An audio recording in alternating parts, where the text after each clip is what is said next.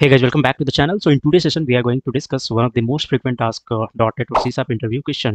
So they will ask what is the significance of keyword using in C Sharp. Okay, most of you must be aware that uh, one of the use cases to import the namespace or NuGet packages. For an example, if I can show you, let's say employee is equal to new.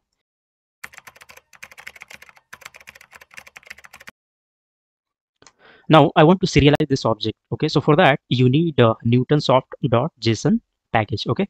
So you have to first import it right in order to serialize it. So let's uh, do that.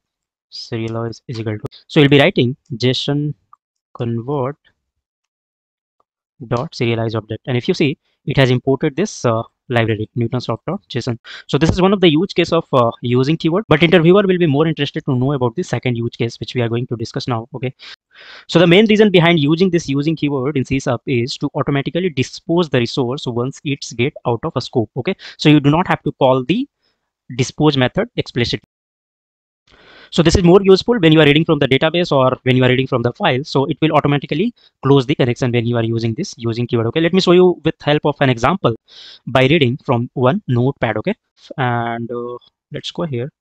Let's create one text file and call it as example.txt.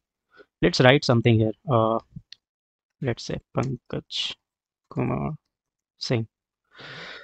So that's all. I do have this file. Now let's take the path of this file okay? So that we can call this using then var reader is equal to new stream reader okay and inside a stream reader what we are going to do we are going to pass the path that we have taken from there okay? Close bracket. And then inside bracket we can write var content is equal to reader dot read to end okay? And then within console dot write line we can see what actually our content is. So we can simply console this content okay? Now if you run this code you can see you are getting the uh, content of the file so here you go. Whatever we have written in the notepad it is showing here. But the interesting thing is uh, once i close this uh, this object will be automatically disposed. So once you go to the stream reader okay you can see uh, this is inheriting from the text reader okay? And uh, if you go inside this text reader you will be seeing you will be seeing IDisposable interface okay and uh, this interface if you see this has the dispose method okay? So if i if i put my mouse here okay you can see what it is saying. It is saying releases all resource used by text reader object okay? Your .NET CLR converts this uh, to something else internally. Let me show you that okay? So let me just uh, remove this. Okay. Uh, I will remove this as well. Now let's see how it happens internally. So try.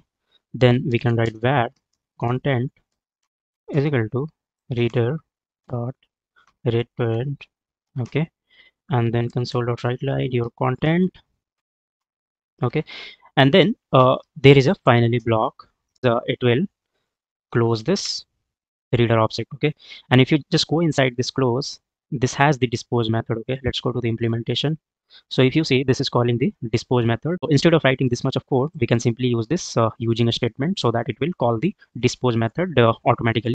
So that's all guys. Uh, we'll meet up in the next video. Till then bye bye take care